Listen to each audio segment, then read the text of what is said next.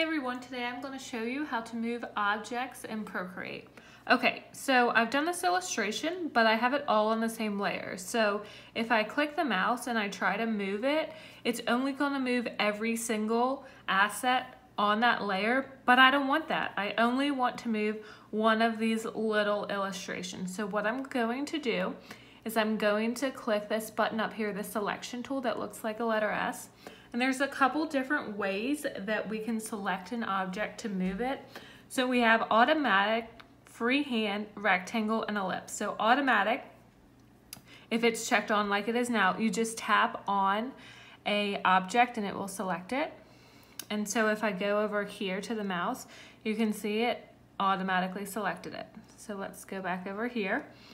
You can also do freehand, which is when you take your Apple Pencil and you draw around an object and click the mouse and that selects it as well.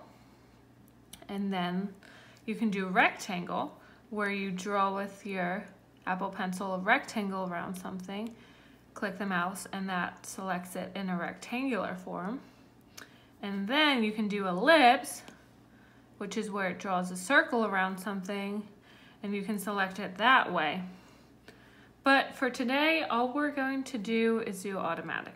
Okay, so I'm gonna click this little life raft. And now I'm going to click the mouse.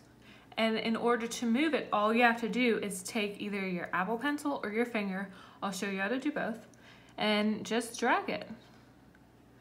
And because I had magnetics turned on already, it's trying to magnetize to the horizontal and vertical axis. So I'm gonna turn that off just so I can be a little bit more precise if I wanna move it inward or outward. And then, like I said, you can use your finger as well. And that's all you have to do to move an object. Thanks so much for watching.